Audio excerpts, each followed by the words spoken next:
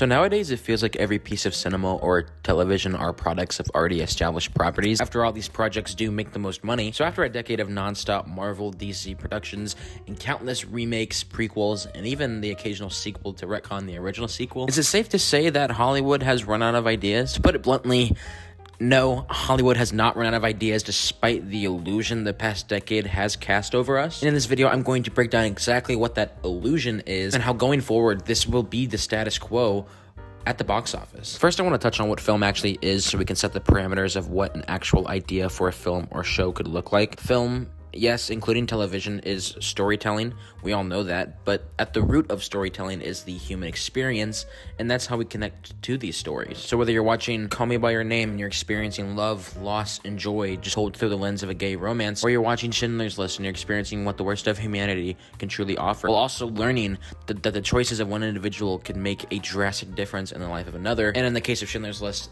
that's told through the lens of the Holocaust. So when you ask the question, has Hollywood run out of ideas?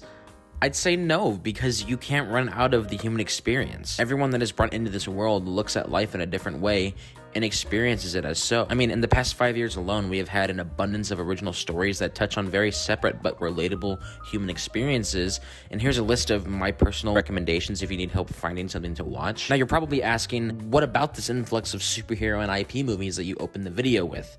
They all exhibit the human experience in some aspect, so why does it seem that we're getting more of these projects than the original stories? Those two questions, and I hate to burst anyone's bubble that thinks this isn't the case, but it all boils down to the fact that these bigger IP blockbuster films have the bigger audience. The story of whatever particular IP we're talking about never matters really. I mean, let's take Spider Man for an example. If they announced a new Spider Man film was releasing in theaters tomorrow without a trailer, without a poster, without any sort of marketing, just the announcement that a movie, a Spider Man film, is coming out in theaters tomorrow, as long as a project has an already established name attached to it, people will flock to see it. Take 2019's The Gentlemen, for example, written and directed by Guy Ritchie, an original film from the man that brought us movies like Snatch, and was overall fairly well received by both critics and audiences alike, and made a total of 100 $115.2 million.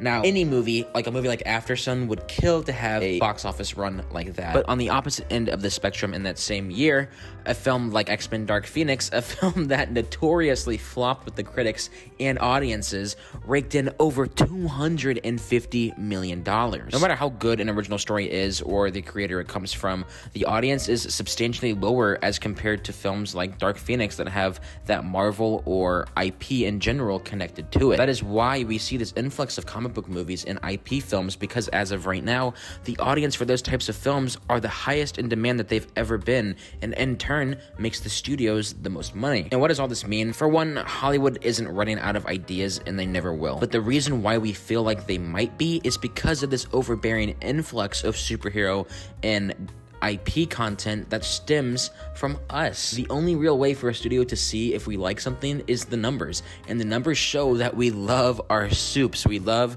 our IPs. But that doesn't mean that original non franchise films don't have a place in the realm of entertainment anymore. Because no matter how many Marvel projects they release a year or on how many screens a single production might take up, films like The Last Duel, Titane, Aftersun, Hereditary will continue to be made, and I think it's more on us as an audience to go out and support the types of films that we love to see. So the next time we ask the question, has Hollywood run out of ideas?